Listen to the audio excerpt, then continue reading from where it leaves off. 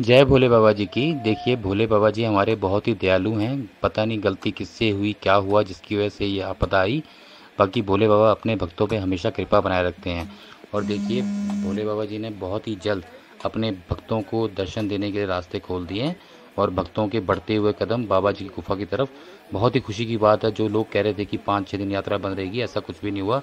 जो अनुमान लगाया जा रहा था, जो हमारे भैया लोगों ने अपडेट दिया हमें बिल्कुल सही जानकारी दी और हमारा पूरा मानना था कि दो दिन में यात्रा खुल जाएगी।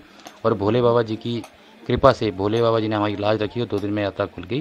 भोले बाबा जी सदा अपने आशीर्वाद, अपने भक्तों पर बनाए रखें और बाबा जी के दर्शन के लिए हम इसी तरह जाते रहें। जय भोले बाबा जी की।